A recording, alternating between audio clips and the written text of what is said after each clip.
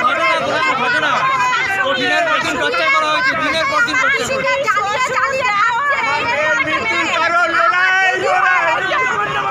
बागुईहाटी थाना अंतर्गत जंगल इलाके में गृह वधु की अस्वाभाविक मौत का मामला सामने आया है। बताया गया है कि दिवसिका नाम की महिला की शादी के बाद से ही उस पर ससुराल वालों द्वारा मानसिक व शारीरिक अत्याचार किया जा रहा था। बुधवार देर रात महिला की अस्वाभाविक मौत हो गई, जिसके बाद मायके वालों ने पति प्रदीप दास सहित उसके परिवार वालों के खिलाफ महिला की हत्या का मामला दर्ज कराया है।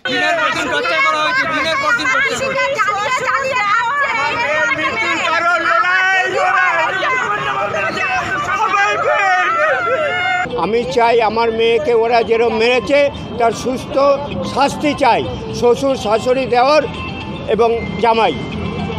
আমাদের বাড়ির একটা ফ্যামিলির সঙ্গে কোনো অনুষ্ঠানে কিছুতে আসতে দেবে না। দিদি ভয়ে ভয়ে আতঙ্কে আতঙ্কে ওদের জ্বালা যন্ত্রণা সহ্য করতে করতে মানসিক ইয়ে শাশুড়ি বাজে বাজে কথা বলেছে নোংরা নোংরা। আমার বাপের বাড়ির লোককে ওদের ভয়ে মানে শয়তানি পানার ইসে আমরা দীর্ঘ আমাদের বাড়িতেও আসে না। এরকম। আমরা বলে তোমরা যেও না আমাদের বাড়িতে ওরা তোমাদের এরকম ছোট বড় কথা ওরকম ওর জন্য আজকে আমরা দিদি বাড়ি যাই না কেন? ও আমাদের দেখলেই ওর শ্বশুরবাড়ির লোক এরকম করতো।